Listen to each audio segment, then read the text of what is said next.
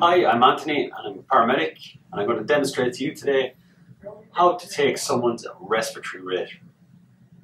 If we're going to take someone's respiratory rate, we usually do it just after we take a pulse rate. We won't tell the patient that we're going to take respiratory rate because they become self-conscious and may affect a true reading of the patient's respiratory rate.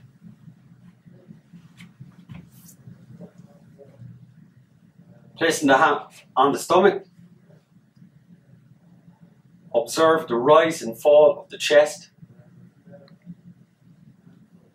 And count how many times the patient's chest rises and falls for 30 seconds.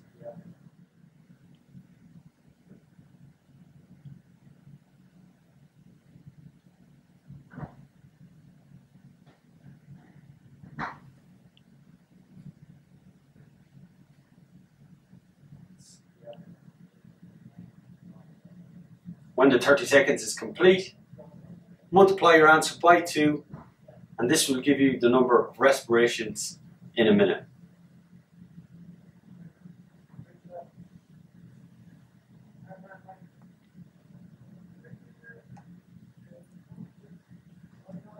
The chest has risen and fallen six times, so we multiply the 6 by 2, which gives us 12 breaths per minute.